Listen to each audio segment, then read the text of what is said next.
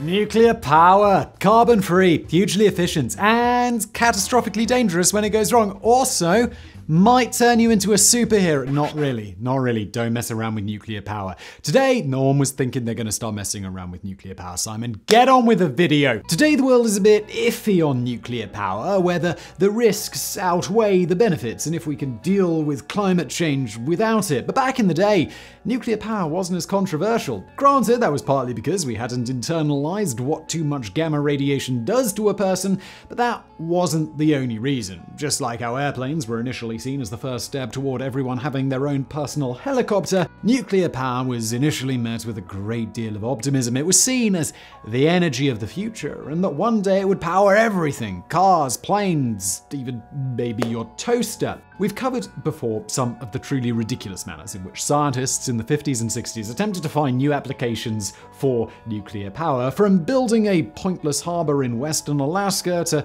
giant flying aircraft carriers. This is another one of those ridiculous things, but perhaps slightly less ridiculous overall. And yes, of course, it's another military project, because when it gets ridiculous, you can always rely on the military and their seemingly infinite budget. This is the story of Project Pluto, the time the United States tried to build a nuclear missile that ran on nuclear power. Yes, really.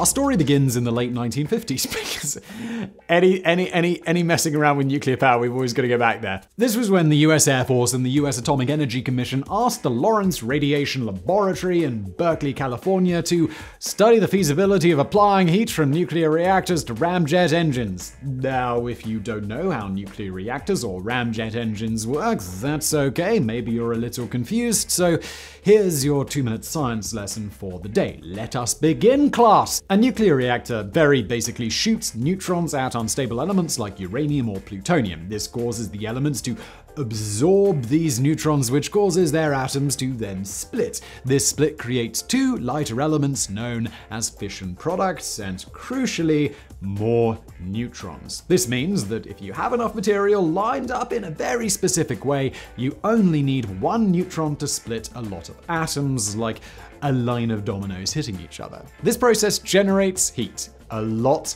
a lot of heat. In a nuclear power plant, this heat is used to boil water into steam, which then turns a bunch of steam turbines, which creates electricity. It's genius.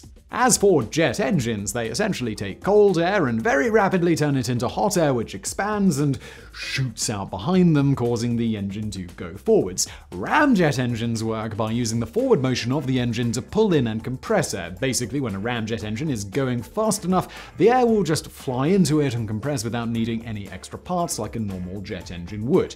That's the ram part of ramjet. So, to summarize the details that are important to us today, nuclear reactors create heat, and ramjet engines need hot air to go forward. So, the Air Force and the Atomic Energy Commission looked at these two side by side and took the logical next step in concluding that these two pieces of engineering were basically made for each other. Alright, so nuclear propulsion in missiles, if it was feasible, offered some key benefits. Because of the efficiency of nuclear power, a nuclear powered missile, in effect, has infinite range. Estimates at that time said that a nuclear powered cruise missile could, well, cruise for up to 113,000 miles before its fuel ran out.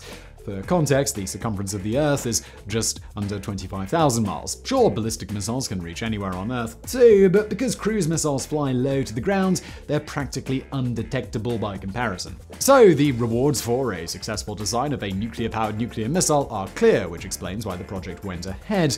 But how did they do it? Let's find out.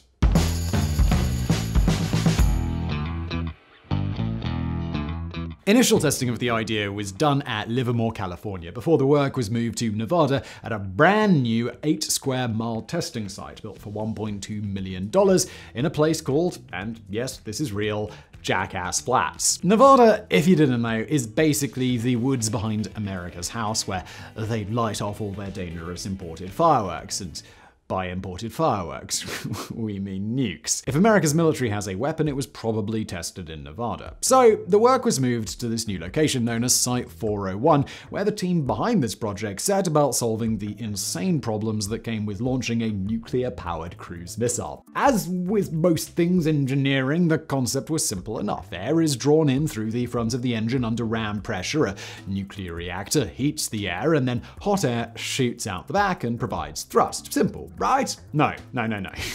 Not simple. For starters, the project had specified that the design would be for supersonic low altitude missiles or SLAM missiles, and we honestly can't think of a better name for a missile other than SLAM. Comical names aside, though, the fact that these missiles would need to maintain a constant speed in low altitude conditions meant that the reactor could reach temperatures of 2500 degrees Fahrenheit. Now, that's a big problem because that kind of temperature is just going to melt the missile, and it goes without saying that missiles that melt before they hit the ground are just not very good missiles, and indeed, when there's a ton of nuclear stuff in there, really not a good time. The solution to this problem came from foregoing metal parts altogether for the internal structure. Instead, specially developed ceramics from the Colorado based Coors Porcelain Company were used, and they were presumably resistant to the extreme heat of the reactor. Now, we'd love to give you more details on this, but there is not really much publicly available information on this project, either because it's still classified or because no one's given it much thought for 60 years, so I guess, oh well. The second problem that presented itself was the reactor. Unlike those in power plants, it was completely open to the atmosphere. That meant that as the reactor burned through its fuel, it would expel radioactive particles into the air as the missile flew. This problem was never actually solved because, again, we didn't really pay much attention to what gamma radiation did to the body back then. In addition, those involved figured that in the event of a nuclear war breaking out between the US and the USSR, the fact that their missiles might cause a bit of cancer as they made their way to blow up an entire city, well, let's just say that it wasn't particularly high on their priority list. The last and simplest problem was that ramjet engines, by design, can't be used to launch anything. No motion, no thrust. That was easier to solve. They could just attach some regular rockets to the sides to get it in the air so the ramjet could work. This was a tried and tested solution. The British Bloodhound missile, in use up until the 1990s, operated with a similar design. With all of that in mind, here's the final version that they come up with. The missile, the SLAM, would be launched from the grounds with a cluster of rocket boosters attached to the side, which would get into the air and get it up to ramjet speed. Once it reached cruising altitude, the nuclear reactor would kick in and the missile would then cruise in circles over the ocean due to its effectively unlimited range. Then, when it received a target, it would alter its course to reach it. But here's a major change that was made. The missile would carry multiple nuclear warheads that it would drop on targets as it flew. In effect, the missile was now an unmanned bomber. After it had dropped off all of its warheads, the missile would finally cruise to its last target where it would impact and detonate its own final nuclear warhead. It's a super intriguing design if you set aside the absolute terrors that would come along with this nuclear apocalypse, and funnily enough, the initial concept actually worked. On May 14, 1961, the nuclear ramjet engine was successfully tested for a few seconds, and three years later, an upgraded version ran for a full five minutes. Thus, the concept was proven. Nuclear fission can successfully power a cruise missile. But despite this success, it was simply not meant to be.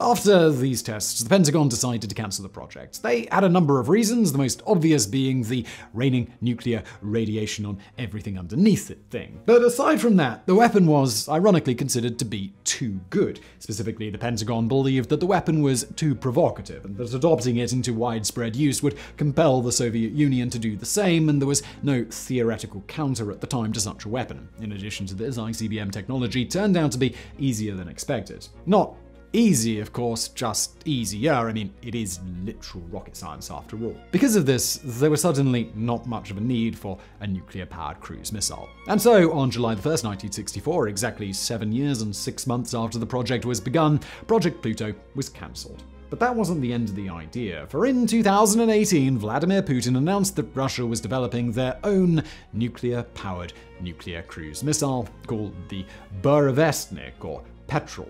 In Russian, the word simply means stormbringer, a reference to an old sailor's legends that petrels are harbingers of storms. And then one year later, a test missile exploded and killed several scientists working on it. Probably not the storm they were thinking of when they named it. So I really hope you found that video interesting. If you did, make sure you slam that like button below. Also, if you've got a suggestion for a future video, use the comments it's where I look to find new ideas, and thank you for watching.